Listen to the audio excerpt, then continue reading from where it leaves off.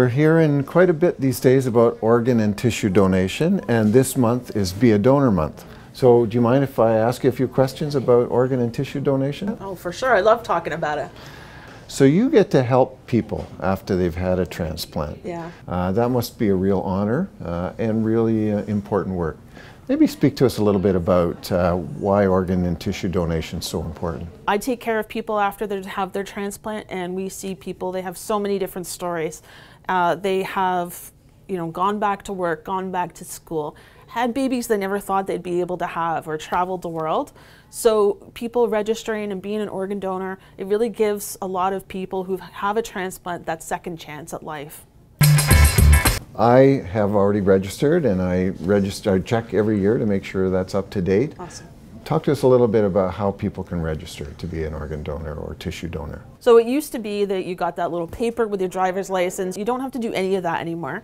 Now it's pretty easy. You just go online, there's a link that you can go to, and you just register. It takes a couple of minutes. Right now, there's probably about 1,200 people in Ontario alone waiting for a kidney transplant.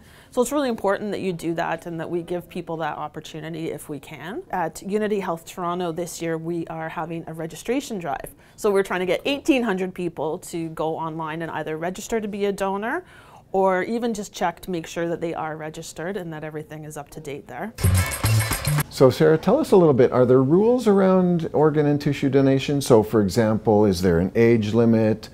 Do you have to be related to the recipient? There are no hard rules. There's no age limit. Even if you don't think you're eligible, doesn't matter. Just go ahead and register. When the time comes, they can do an evaluation and decide. Um, if you want to be a living donor, actually you don't have to be related either.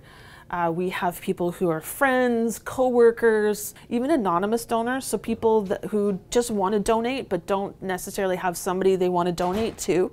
And actually, we do a celebration for those people because they're so valuable, and we want to really say thank you for doing this. And this year, we're actually tying it in with the 50th anniversary of the transplant program at St. Mike's.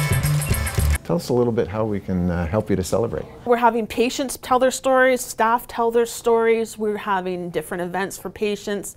And you know, really the best way that everybody can help us to celebrate is to register as an organ donor so that we can help other people celebrate with us at the next 50 year anniversary. Congratulations to the transplant program on our 50th anniversary.